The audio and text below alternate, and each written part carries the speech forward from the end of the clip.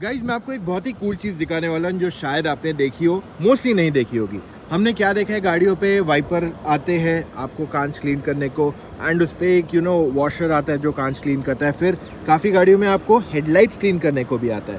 पर अगर आपकी कैमरा फ्रंट वाली मैली हो जाए तो आप क्या करोगे? आपको इसको क्लीन करने की ज़रूरत पड़ेगी। देन इन दैट केस कैसे क्लीन करोगे इसको? ऐसे, आप फ्रंट को क्लीन कर सकते हो इजीली एंड अगर आपके पास 360 कैमरा है और आपके पास पीछे भी कैमरा है देन इन दैट केस आपको इसको भी क्लीन करना पड़ेगा। तो इसको कैसे क्लीन करोगे? कुछ इस तरीके से। देख रहे हैं आप?